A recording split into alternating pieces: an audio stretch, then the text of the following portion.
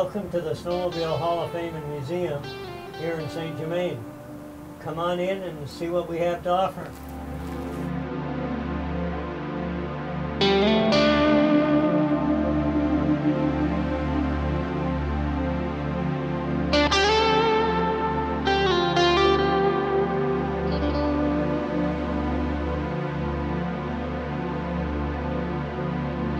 The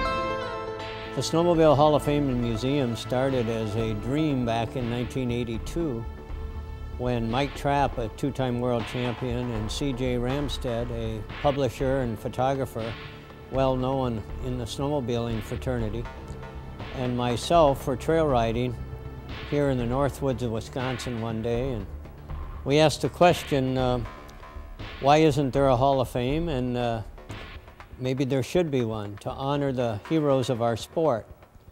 And before that day's riding was over, the three of us decided that it was time to start a Hall of Fame for the sport of snowmobiling. And today we're in the newest edition, a 5,000 square foot edition.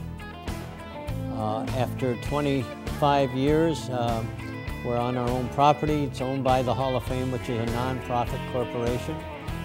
And we induct uh, Hall of Fame uh, honorees each year in February.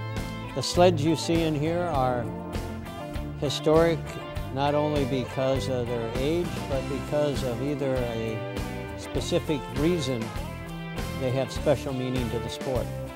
Some of them are racing sleds that have been driven by some of the heroes of the sport.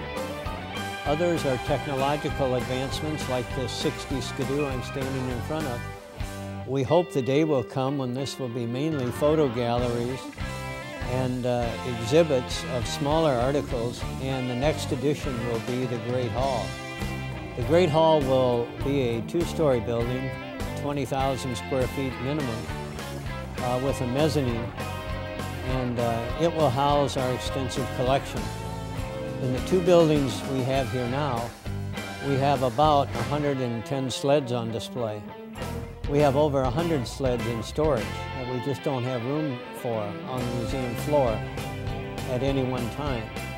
So we rotate the displays once or twice a year.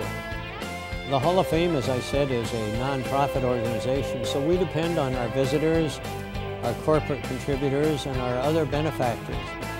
We also have two major fundraisers every year. In February, we have our annual Ride with the Champs, which has been 27 years now. And it is a day-long trail ride with some of the heroes of the sport. Usually that year's inductees are on the ride, and that's the night they get inducted into the Hall of Fame. The other major fundraising event we have during the year is our Classic Sled Roundup. It's sponsored by Arctic Cat, always held on Sunday on Memorial Day weekend.